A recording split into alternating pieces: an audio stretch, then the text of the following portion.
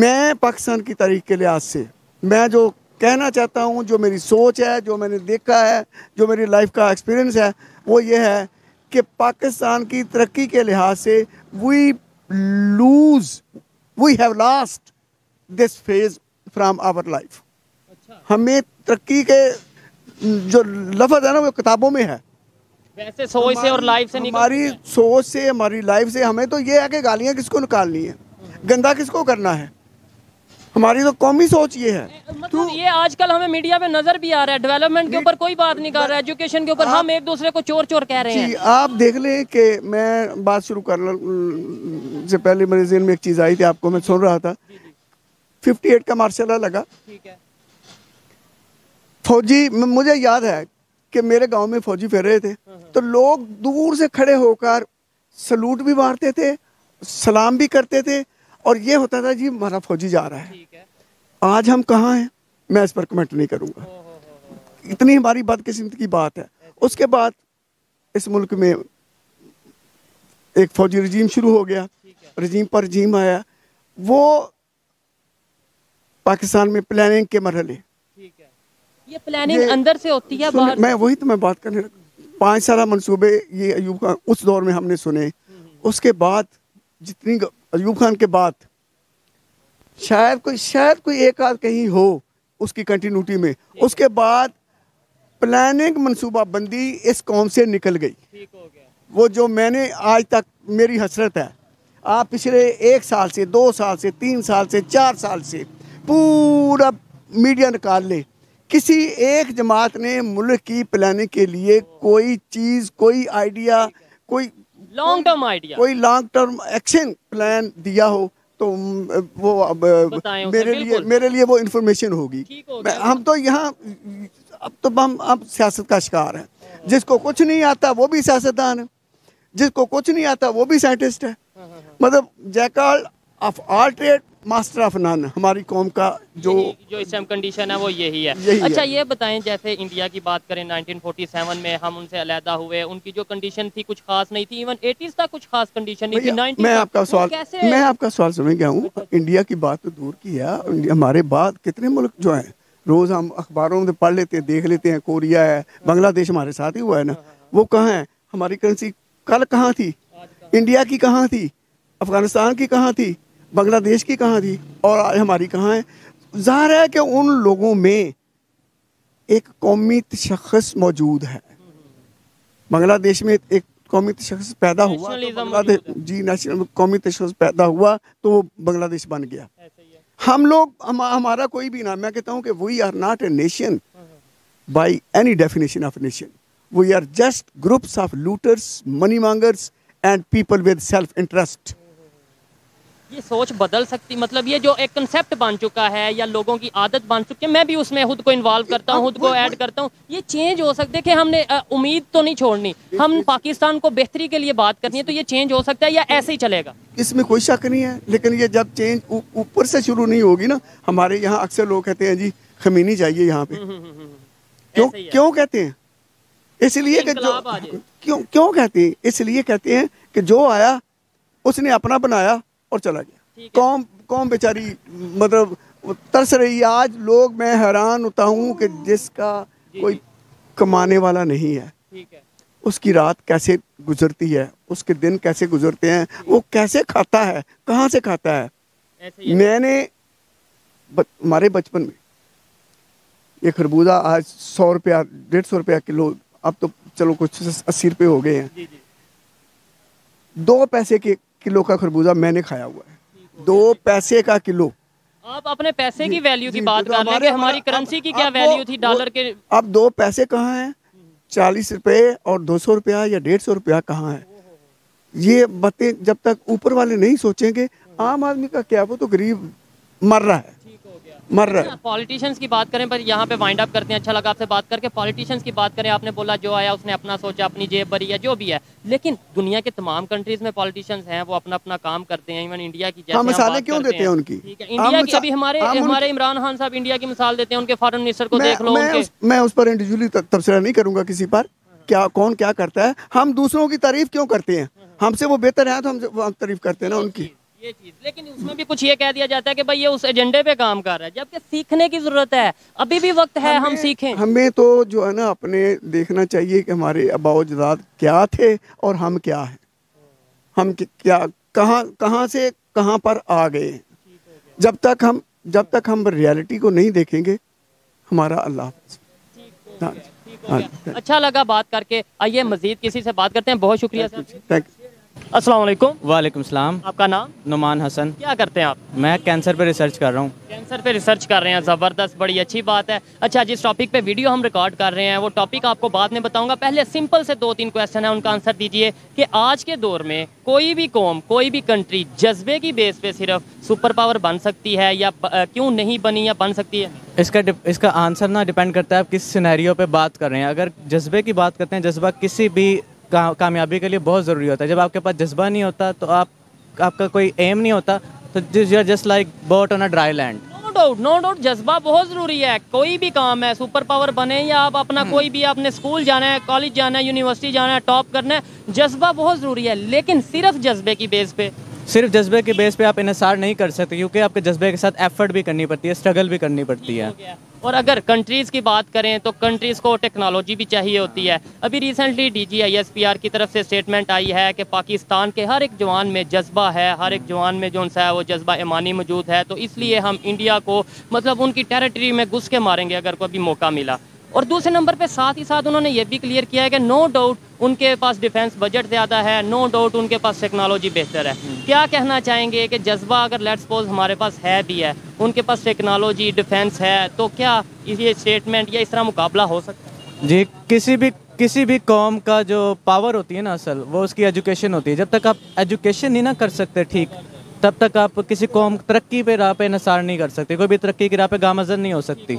Education बहुत ज़रूरी है। किसी भी कॉम का आपने तबाह करना हो ना, उसकी एजुकेशन तबाह कर दें। अच्छा एजुकेशन नो डाउट इनकी बात से मैं एग्री करता हूँ हंड्रेड परसेंट एजुकेशन सबसे मस्ट है डिफेंस से मस्ट है, अपना आपकी टेक्नोलॉजी से सबसे ज़्यादा ज़रूरी मेरे ख्याल में एजुकेशन है। अच्छा अगर बात करें, जो हमें बताया जाता है कि हम मुसलमान हैं, इसलिए हमारे पास जज्बा बहुत ज़्यादा है और शायद हमारे पास ही सबसे ज़्यादा जज्बा है। तो हम सुपर पावर क्यों नहीं बन पाते? सेकेंडली अमेरिका जो सुपर पावर बना बैठा है, क्या उसके पास जज्बा है? जज्बे की बेस पे वो सुपर पावर बना बैठा है या टेक्नोलॉजी की बेस पे इकॉनमी की? अमेरिका के पास दो चीज़ें हैं, जज्बे के अलावा।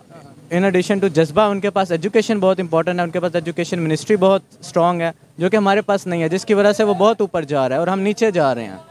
हो गया? नहीं मुसलमान नहीं वो तो वहाँ पे तो मुसलमान नहीं है हुकूमत में गवर्नमेंट में तो जज्बा कहाँ से आ गया उनके पास? देखिए जज्बे के लिए आप किसी भी रिलीजन को नहीं डिस्क्राइब कर सकते। नो डाउट मुसलमानों में जज्बा ज़्यादा होता है क्योंकि उनको अल्लाह ताला के अलावा किसी का खौफ ही नहीं होता। नो डाउट के जज्बे के लिए आप किसी भी रिलीजन को डिस्क्राइब नहीं कर सकते लेकिन हमें ये बताया जाता है कि नहीं कि हम मुसलमान हैं तो इसलिए जज्बा ज़्यादा बिल्कुल मुसलमानों में जज्बा नेचुरली तौर पे ज़्यादा होता है क्योंकि उनको अल्लाह तला के अलावा किसी का खौफ ही नहीं होता।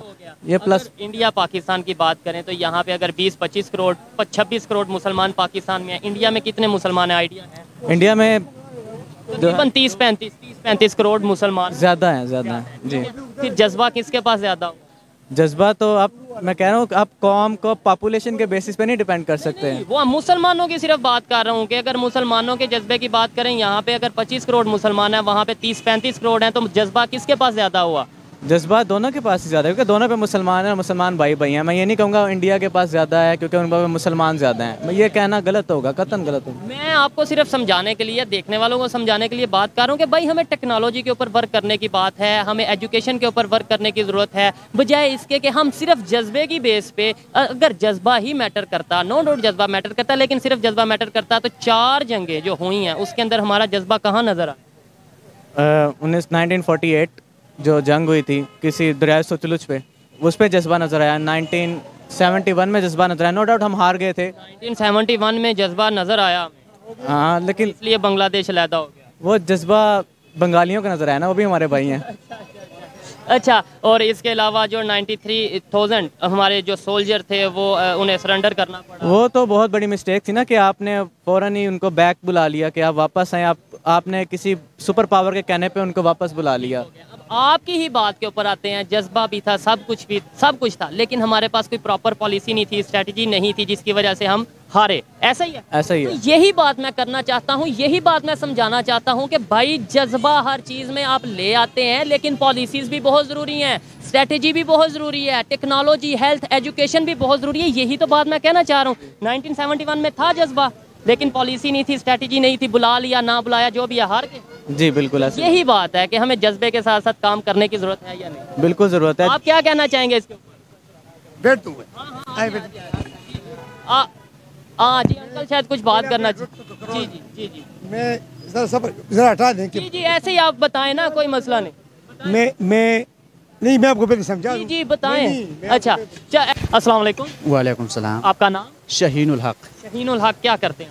मैं फ़िलहाल पढ़ रहा हूँ। पढ़ रहे हैं और कहाँ से? पंजाब के तो नहीं लग रहे आप कहाँ से बिलोंग मैं स्वाद से बिलोंग कर रहा हूँ। बिलोंग करते हैं। जिस टॉपिक पे वीडियो रिकॉर्ड कर रहे हैं वो ये है अगर रिलेशन की बात करें पाकिस्तान की अफ़गानिस्तान की इंडिया की जो भी हमारे नेबर हैं इवन ईरान की अफ़गानिस्तान ने अभी अनाउंस किया है कि वो 1400 किलोमीटर ऑलमोस्ट 1500 किलोमीटर का रेलवे ट्रैक बनाने जा रहे हैं जो कि कनेक्टिविटी में काम करेगा रशिया से लेकर इंडिया की न्यू दिल्ली तक। क्या कहना चाहेंगे? अगर तालिबान जिन्हें हम ये मतलब एक मज़ाक के सेंस में कहते थे कि भाई ये तालिबान आए हैं इनको कोई एजुकेशन नहीं है ये नहीं है टेक्नोलॉजी से इनका कोई लिंक नहीं है आज वो इतने बेहतर फैसले कर रहे हैं अपने कंट्री के लिए अपने रिलेशन नेबर्स के साथ इतने बेहतर कर रहे हैं हम इसके ऊपर क्यों नहीं काम कर पाते?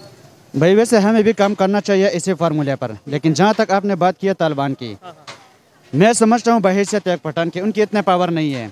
ये फ़िलहाल किसी का हाथ है इसके पीछे। वरना वहाँ के जो एक्सेप्टेबल गवर्नमेंट था वो किसी के हाथों से पीछे चला गया है। अच्छा लेट्स सपोज़ किसी का भी हाथ है एक मिनट के लिए मान लेता हूँ कि उनमें इतनी ताकत नहीं है लेकिन क्या ये फैसले ठीक नहीं है?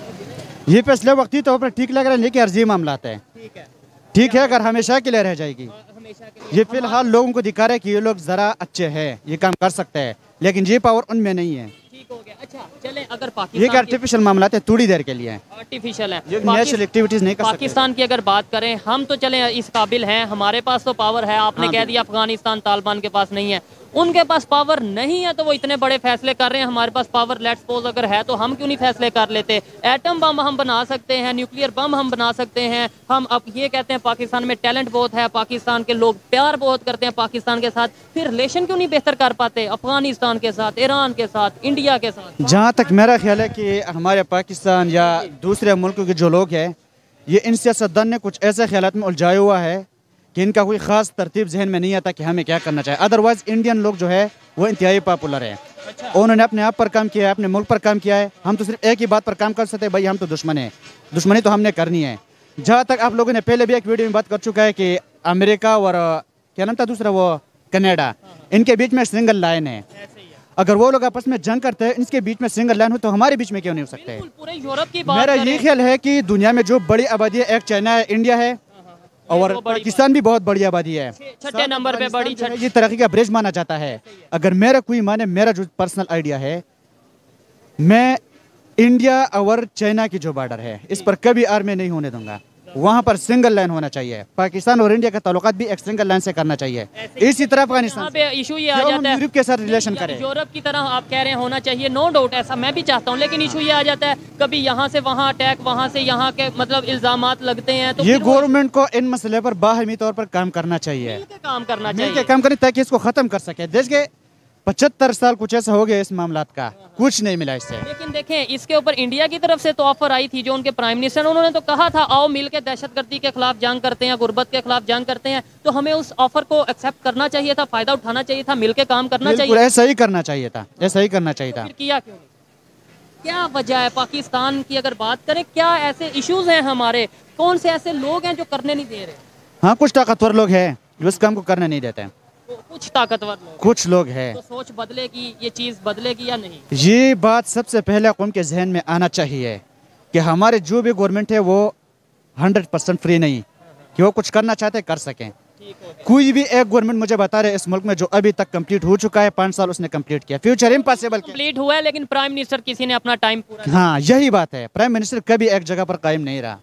लिहाजा इस बात पर सोच होना चाहिए कौम को भी ताकि वो अपने प्राइम मिनिस्टर के पीछे खड़े रहे। कोई भी दबाव ना हो कोई भी प्राइम मिनिस्टर दबाव ना हो उसको ये एतमाद होना चाहिए कि मेरे पीछे कौम है। और वो एक पॉपुलर प्राइम मिनिस्टर होना चाहिए। बरानम नहीं भाई मैं प्राइम मिनिस्टर में आ गया हूँ। ऐसे ही है ज़बरदस्त अच्छा लगा बात करके। पर बात करें ताकि हम दोनों ममालिक जितनी भी ममालिक है मेरा ये ख्याल है अगर चाइना भी पॉपुलर कंट्री है इंडिया भी है दोनों प्रोडक्ट्स बनाते हैं बड़े तादाद में बड़े इंडस्ट्रीज़ है दोनों के। देखिए अगर हम नहीं बना सकते हमारे ताल्लुकात अच्छे हो जाए ना जिस हम अमेरिका या यूरोप से मंगवाते हैं क्यों ना हम आपस में शेयर करें? खुदा की कसम वो यूँ बैठेगा वो लोग। और हमारी सूरत हाल भी उन्हीं के फार्मूले की से अभी तक खराब है। ऐसे ही है जो ये बात करना चाह रहे हैं कि अगर हम आपस में ही रिलेशन बेहतर रखें आपस में ही ट्रेड करें अगर हम जो चीज़ र- अपना यूरोप से मंगवा रहे हैं जो चीज़ यूएस से मंगवा रहे हैं ये बिल्कुल साथ बॉर्डर लगता है इंडिया से लें तो क्या दुनिया वाले देखते रह जाएँगे और हम डेवलपमेंट की तरफ़ जाएँगे? हमारा डिफेंस का यूँ यूँ बजट का करेंगे यू यू। ये भी स्लो है। ये चीज़ ये भी स्लो है ये चीज़ मुझे समझ लगती है इन्हें समझ लगती है हमारे हुक्मरानों को समझ नहीं लगती। ये थी आज की वीडियो पाकिस्तानी पब्लिक की पाकिस्तानी यूथ की ओपिनियन आप तक पहुंचाई। इस हवाले से मेरी पर्सनल ओपिनियन की बात की जाए तो मैं यही कहूँगा कि अभी भी वक्त है शायद अभी भी वक्त है कि हमें रिलेशन बेहतर करने की तरफ़ सोचना चाहिए। हमें ये देखना चाहिए कि दुश्मनी दुश्मनी नफरत नफरत में कुछ नहीं पड़ा और किसी दूसरे का नुकसान नहीं नुकसान हमारा अपना होता है। हमें अगर पाकिस्तान की बेहतरी करनी है हमें अगर पाकिस्तान का इमेज पूरी दुनिया में बेहतर करना है तो हमें अब सबसे पहले अपने नेबर्स चाहे वो ईरान हो अफ़गानिस्तान हो इंडिया हो रिलेशन बेहतर करने की ज़रूरत है। ये मेरी पर्सनल ओपिनियन थी आप इसे एग्री और डिसएग्री कर सकते हैं। वीडियो कैसी लगी कमेंट में ज़रूर बताइएगा। मिलते हैं नेक्स्ट वीडियो में तब तक के लिए पीस आउट अल्लाह हाफिज। जी आप कुछ कहना चाह रहे जी मेरा एक ख्याल और भी है कि पाकिस्तान गवर्नमेंट को ये भी होना चाहिए चाहे जो भी मुल्क हो इसमें एक पॉजिटिव पॉलिसी रखे ना कि वहाँ की बुनियाद कर ले लोग। ये नहीं होना चाहिए। इंतहाई मजरत के साथ कहना पड़ेगा लेकिन अफ़गानिस्तान की पॉलिसी हमारे वाजह है। वहाँ की गवर्नमेंट की एक्सेप्टेबल गवर्नमेंट वहाँ के लोगों की एक्सेप्टेबल गवर्नमेंट हमने रुख्सत की है चाहे कोई माने या ना माने। दूसरी बात यह है कि पाकिस्तान गवर्नमेंट को ये भी होना चाहिए कि अपने जितने भी कौम इस मुल्क में है यानी जितने भी सूबे हैं इनके बीच में मुसावी निज़ाम कायम करे कायम करे। ऐसा नहीं कि कौम टूट जाए दोबारा से। ही है। बिल्कुल जी अच्छा लगा मैं ये बात बता रहा हूँ अब न इस छोटे जहन और छोटे अकल और छोटे उम्र के मुताबिक खुदा की कसम मुझे इतना नज़र आ रहा है जितना बगावत पुख्तनख्वा से बरामद हो गया जितना बगावत बलूचिस्तान से। मैं छोटा बच्चा उन इलाकों में इतना बड़ा हो गया कि मेरे दाढ़ी और नूर आ गया। यहाँ पे बगावत है। बगावत है लेकिन क्यों है?